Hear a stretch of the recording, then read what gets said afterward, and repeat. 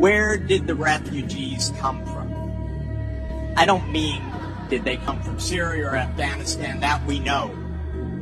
But why did they come? They came because of war. Where did the war come from? From my country. From the CIA, which first started to overthrow the Afghan government back in 1979. The U.S. has been involved in Afghanistan in war, both covert and overt, for nearly 40 years. Iraq, absolutely against international law, of course, often called the most dreadful foreign policy decision modern times. Absolutely unprovoked war killed hundreds of thousands, displaced millions, created disaster, blowback, and refugees.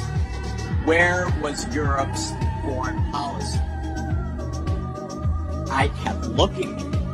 Is, is there a foreign policy? I, I even took out my microscope. I couldn't even find a microscopic foreign policy because there's no foreign policy to speak of. So the idea that the only policy is to debate should we accept refugees or not is not right. The real policy is stop the wars that are producing them.